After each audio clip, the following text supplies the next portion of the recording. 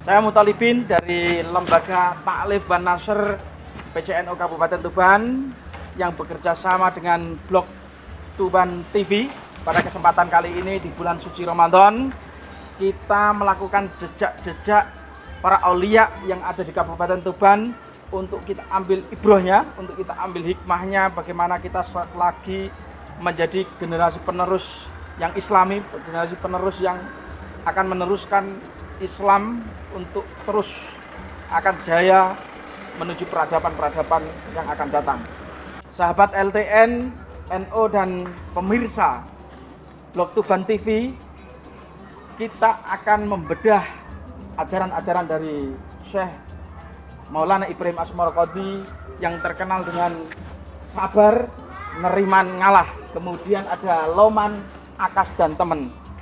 Kita habis ini akan ketemu dengan dua juru kunci uh, Syekh Maulana Ibrahim Asmarokonti akan kita wawancara eksklusif bagaimana dakwah dari Syekh Maulana Ma'arif Ibrahim berada di Bumi Wali Kabupaten Tuban ini.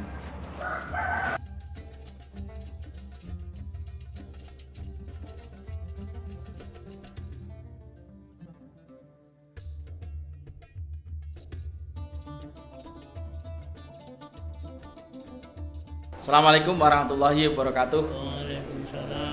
Masih bersama saya Mutolibin. Dalam hal ini kita akan berbincang-bincang tentang jejak-jejak waliullah yang berada di Kabupaten Tuban, yaitu berada di Desa Gesik Harjo, Kecamatan Palang, Kabupaten Tuban, yaitu di makam waliullah Syekh Maulana Ibrahim Asmarokodi. Berada di depan saya dua juru kunci dari makam Maulana Ibrahim Asmarokondi kita akan berbincang-bincang eksekutif bagaimana kiprah dakwah dari uh, Syekh Maulana Ibrahim Asmarokondi kita perkenalkan uh, yang berada di kanan saya adalah Bapak Sokran yeah. yang berada di kanannya Bapak Sukran adalah Bapak Badrun ya. Untuk Pak uh, Sukran ini sudah berapa tahun Pak menjadi juru kunci Pak? Oh gini Mas. Okay. Pak juru kunci semua yang ada sini itu ada masa periode ke masa kerja. Oh gitu. Jadi kak terus menerus tidak. Jadi masa kerja yang kita alami sama Mbak Badrun sama rekan-rekan ini dua tahun dua tahun dua tahun dua tahun diadakan apa itu ya pemilihan atau nanti itu ada tim dari oh iya pengurus, pengurus. jadi setiap dua tahun ada termasuk apa di pemajakan ah. hasilnya habis kerja terpilih oleh bapak pengurus ah, iya. kadang-kadang ada tidak terpilih yeah. kadang-kadang orang yang mampu atau orang yang ditunjuk itu siapa itu jadi oh. tiga orang jadi yeah. satu periode itu tiga orang tiga orang yang dipilih oleh pihak pengurus termasuk itu adalah orang yang dianggap itu bukan kok mampu bukan yang hmm. dianggap pantas pantas untuk menjadi yeah. jadi biarpun itu tidak pandang orang itu terlalu tua atau tidak pandang orang sedang kalau memang pantas gitu uh. jadi kunci dan yang kedua itu adalah ada rasa atau apa itu dikatakan perjuangan. Perjuangan. Labuh kata orang Jawa. Ada pengalaman yang pernah dialami mungkin dari Pak Badrun ataupun Pak uh, dari Pak Sukran perihal pengalaman spiritualitas. Mungkin pernah bermimpi ketemu dengan Mbah Maulana Ibrahim Asmarokondi atau bagaimana selama menjadi juru kunci ini ya?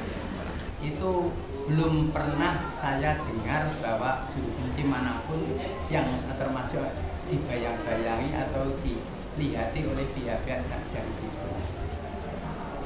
Untuk ini Pak apa peninggalan-peninggalan dari Syekh Maulana Ibrahim Asmarokondi ini apa saja Pak yang masih tertinggal di area makam? Pak Sukran. Oh ya. Ini yang ada sekarang, yang masih ada sekarang. Pertama lama itu masjid lama belakang masjid, masjid ini mah belakangnya masjid iya ya. itu ada masjid sedikit orang sini orang sini menamakan masjid lama gitu aja iya iya ya, ya satu terus yang kedua itu jeding itu yang bentuknya persegi oh iya kamar mandi sebelah ya, kamar mandi ini kan ya, itu dulu itu waktu saya kecil itu memangnya untuk mandi sama orang-orang. Hmm, yeah. Cuma hari-hari sekarang untuk tempat air minum.